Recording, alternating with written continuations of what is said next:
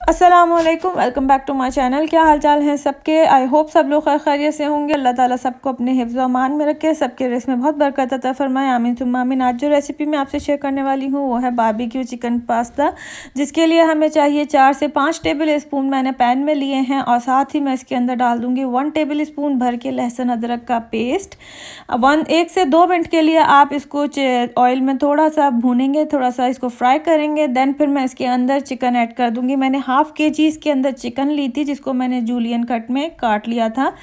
आप लोग चाहें तो इसको बीफ या मटन के गोश्त में भी बना सकते हैं और उसको भी सेम बोनलेस लेके तो आप उसको जूलियन कट में काट के सेम रेसिपी फॉलो करके आप उसको यूज़ कर सकते हैं।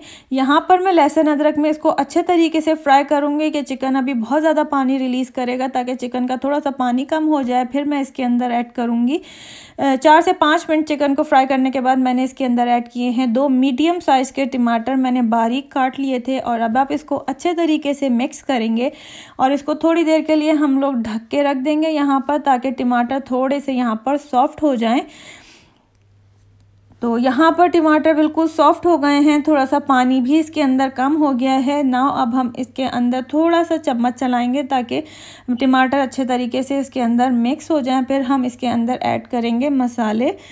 तो यहाँ पर आप देख सकते हैं, पानी अच्छे तरीके से इसके अंदर खुश्क होने लगा है। तो अब मैं इसके अंदर ऐड करूँगी दो चिकन के क्यूब। इसको डालने से ये बहुत मज़ेदार बनता है।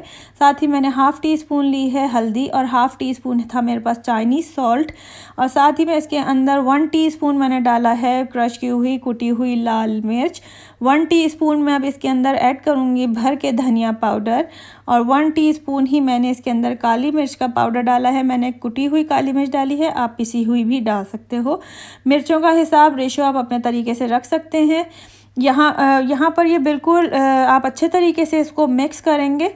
उसके बाद मैं इसको दूँगी कोयले का दम। मैंने कोयला पहले से रख दिया था गर्म होने के लिए। अब यहाँ पर हम इसके अंदर कोयला रख के मैं ऑयल डालूँगी। इसको थोड़ी देर के लिए मैं ढक के रख दूँगी। एक से दो मिनट के लिए ताकि चिकन में भी जो कसर रह गई है वो भी गल जाए और साथ ही हमारा कोयले का दम भी रेडी हो जाए। यहाँ पर तो था जो इसका बाबीक्यू फ्लेवर आना था, वो इस वजह से आना था और थोड़ा सा जो हमारा चिकन है वो भी यहाँ पे कुक हो गया है। यहाँ पे जो मैंने चिकन का लिया था, इसने तीन से चार मिनट मैंने यहाँ पर इसको रखा था। ना अब मैं इसके अंदर ऐड करूँगी वन टेबल स्पून भर के सोया सॉस मैंने इसके अंदर डाला है। और वन टेबल स्पून भर के मैंने इसके अंदर चिली सॉस का ऐड किया है। आप कोई भी चिली सॉस ले सकते हैं। इसको मिक्स करने के बाद मैं अब इसके अंदर डालूँगी वेजिटेबल्स मैंने ली है शिमला मिर्च, गाजर थी स्वीट कॉर्न थे मेरे पास और हरी मिर्च यहाँ पर मैंने कट की थी और मटर थे। आप कोई भी वेजिटेबल इसमें ऐड कर सकते हो। हरी प्याज कैबेज वगैरह कुछ भी आप इसके अंदर ऐड कर सकते हैं।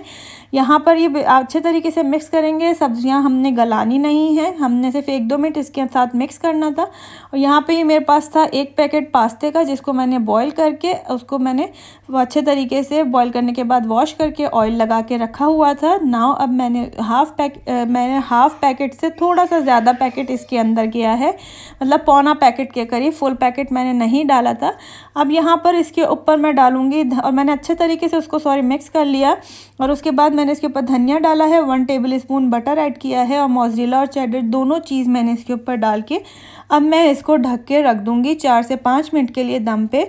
यहाँ पर यह मेरा पास्ता बिल्कुल रेडी है। तो अब यहाँ पर आप इसको मिक्स करेंगे ताकि चीज़ और बटर इसके अंदर मिक्स हो जाए अच्छे तरीके से। ये थी मेरे पास्ते की रेसिपी अच्छा चिकन क्यूब आपके आपकी मर्ज़ी है टोटली ऑप्शनल है। आप लोग डालना चाहें या ना डालना चाहें चाइनीज़ सॉल्ट इस रेसिपी में वैसे भी डलता है, तब भी कुछ लोग खाना पसंद नहीं करते तो आप लोगों की मर्ज़ी है। यहाँ पर ये बिल्कुल रेडी था। सर्व करने के लिए तब आपने मेरे चैनल को सब्सक्राइब करना है, मेरी वीडियो को लाइक करना है और मुझे सब फीडबैक ज़रूर देने हैं कमेंट बॉक्स में। उम्मीद करती हूँ मेरी रेसिपी आपको अच्छी लगी होगी। थैंक यू फॉर वॉचिंग अल्लाह हाफिज़